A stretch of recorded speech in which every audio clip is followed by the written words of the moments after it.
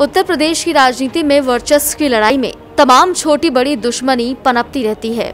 हम आए दिन समाचार पत्रों और न्यूज़ चैनल के माध्यम से राजनीति में पनपी दुश्मनियों की खबर देखते हैं। यहाँ कभी वोट ना देने की सजा मिलती है तो कभी एक दूसरे के खिलाफ चुनाव लड़ने की। यहाँ लोग राजनीति में जान पर खेल जाते हैं, एक दूसरे को फंसाने के लिए झूठी साजिश रचते हैं।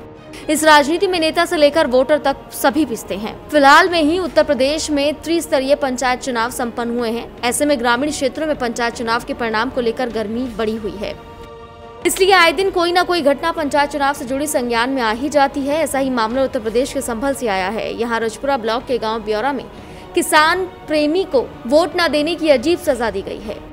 दरअसल यहाँ एक प्रत्याशी ने किसान के खेत में सिंचाई के लिए जाने वाला पानी सिर्फ़ इसलिए रोक दिया क्योंकि किसान ने उसको पंचायत चुनाव में वोट नहीं दिया।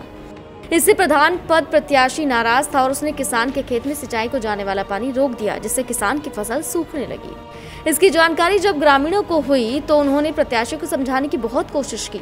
इस पर वो आग बबूला हो गया। सिंचाई के लिए अन्य साधन न होने की वजह से किसान की फ़सल सूखने की कगार पर पहुँच चुकी थी। यह देख ग्रामीण किसान की मदद के लिए पहुँच गए। यहाँ ग्रामीणों ने नल की मदद से बाल्टियों के सहारे किसान की सूखी पड़ी फ़सल में पानी लगाना शुरू कर दिया। यहाँ ग्रामीणों का कहना है कि जब तक आवश्यकता रहेगी हम सब लोग किसान की मदद इसी तरह करते रहेंगे। संभल से शिवाकर विद्यार्थी न्यूज़ वन इंडिया। वोट मांगना चाहो से दे पाए। अच्छा अच्छा। इस वजह से आपका हाँ। पानी रोका गया है। आपकी अरबी सुखाने की हाँ। वो सूख जाए। अच्छा अच्छा। दोनों। हाँ। मेंथा अरबी दोनों सुखाने के चक्कर में थे। हाँ। और जो इन्होंने हमारे पक्ष में मतदान नहीं किया। जो कही इसलिए इन्हें पानी नहीं दिया गया। जो कही क्या क्या मैं कहूँ उसके डोर का दद्दा राम राम। राम राम। अच्छा अच्छा। मैं दद्दा ट्यूबवेल तो आए क्या कर रहे हो?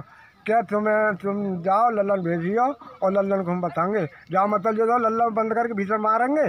हाँ सही जाओ मतलब जो भाओ हाँ सही बात है। है भैया तो कोई बात ना भाई। सही बात है। हाँ? सही बात है।